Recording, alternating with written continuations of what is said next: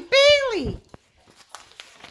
You just got a, the card, the bachelor just gave us a date card. You want to read it?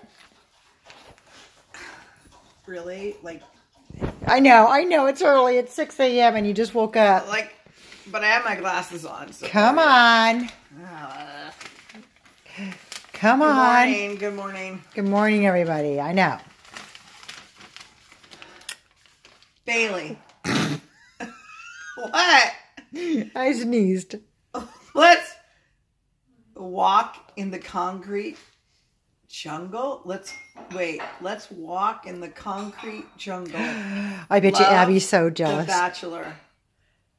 Wait, what is this? Like, what do you think that means? Like, what does that mean? Like, I don't know, what- but it sounds like a one-on-one date to me. Oh my god!